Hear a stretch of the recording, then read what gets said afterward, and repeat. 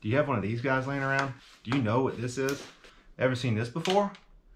If you did, you would have quick cash. Today I'm going to show you five unique, strange items that sell on eBay. And these items sell super quick. Stay tuned. The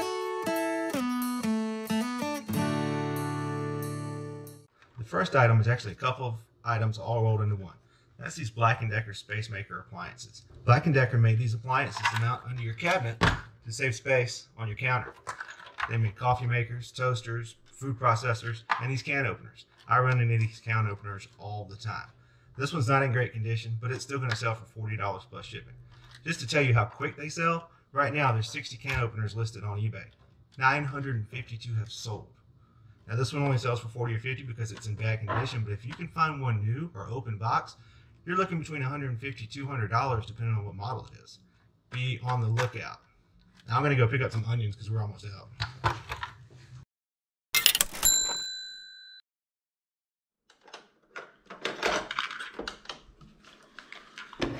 So I know when we're not all playing on our Game Boys or sending texts on our flip phones, we're hanging out at home listening to cassettes, right?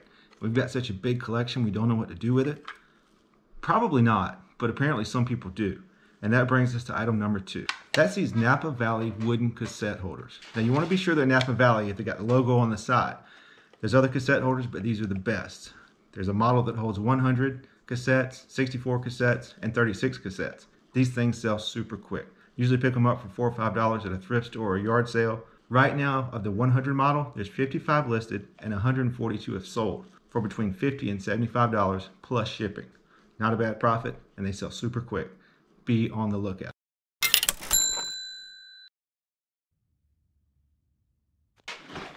So our next item is this Medicus double hinge five iron. Basically, you see it's got two hinges and it's not broken. It's supposed to be like that. Basically, it's a golf training aid that when you swing incorrectly, it breaks, letting you know that you're not quite right and you're not quite ready for the Masters. I usually pick these up at thrift stores for two or three dollars a piece, and they sell for forty dollars plus shipping all day. The thing to look out for is these hinges. They do get rusty sometimes, so you want to make sure it's in good condition and working well like it's supposed to be. Right now, there's 53 listed and 240 have sold, so I know it's going to sell quick when I get it listed. Be on the lookout. And the number one rule is once you're done, you got to give it some time to let the effect set in. You don't want to just jump right up. When you're done with it, you want to let it permeate, otherwise. So yeah, that's your next item. It's called a chi machine. That I know of, there's two brands of these. One's Jigglin' George, and the other one is the Clark Exerciser 2000.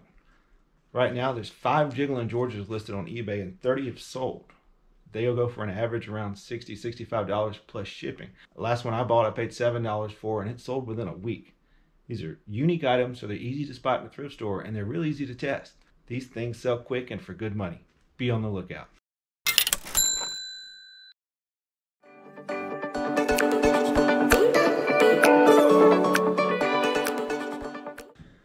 So our last item is a mind blower. This is a Alite Designs Mayfly chair. It's an ultra lightweight camping chair, and honestly, it, it's small. My kids had it, and she almost couldn't fit. It's I don't know who's sitting in these, but this chair sold for one hundred and seventy-five dollars. I picked it up at a Goodwill for four dollars and ninety-four cent. You can, you can see that in my last video, and it sold within 12 hours for 175 right now there's only three of these chairs listed and they're solid color and 17 have sold in the last 30 days so these things sell quick and it's actually going overseas so i have no idea what they paid for shipping this is a great bolo if you see these grab them they sell quick